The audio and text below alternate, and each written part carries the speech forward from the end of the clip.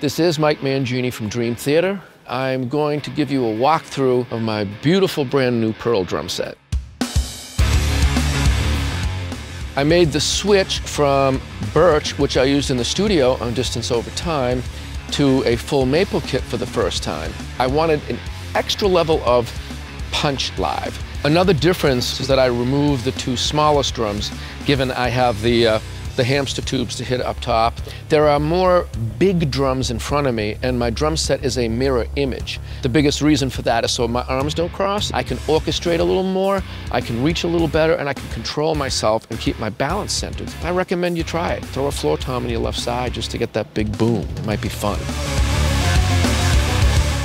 A major change was to add gong floor toms. I have been thinking for years and talking with my tech, Eric, about how difficult it is sometimes to get a double-headed drum to just have one tone. We seem to have so much noise going around that they resonate a lot. So it's like, why don't we try one drum head? And it's turned out to have a tremendous effect out front. I mean, it's just huge because you're just getting this one clean tone.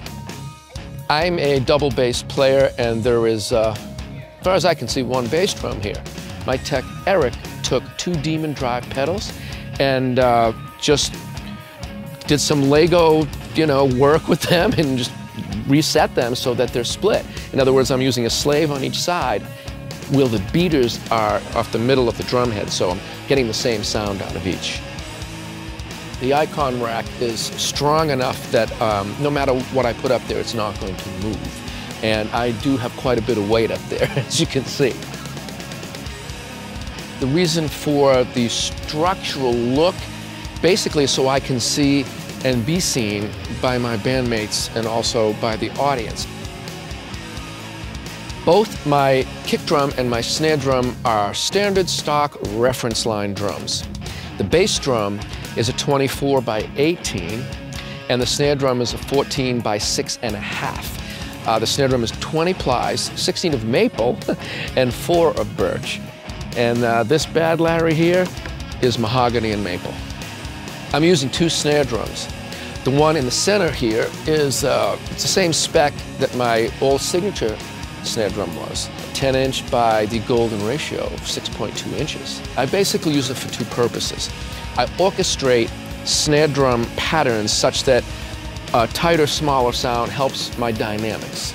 And the second thing that I do is that I turn the snare off and I use it as a high tom. I know that nobody can see my pedals from the front. My main concern here was just keeping a lot of the sound out of the gong drums. Also, I have extra electronic pedals there, percussion and things like that. It just looks like a lot of stuff. And I didn't quite like the look of it. So more of us like the look of the black barriers, so that's why they're there. I have been with Pearl Drums since a day in 1999 at NAMM where I walked around to many, many, many booths and hit drums. I'll not forget walking into the Pearl booth and hitting one of their floor toms, and it happened to be a birch drum. And that's part of the reason why a lot of my drum sets have birch in them was that experience and the way that it made me feel. So that's what drew me in.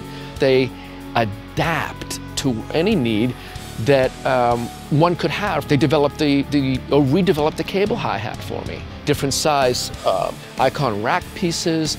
Uh, we have the gong drums. Uh, we did an, you know, an, an odd size with the signature snare.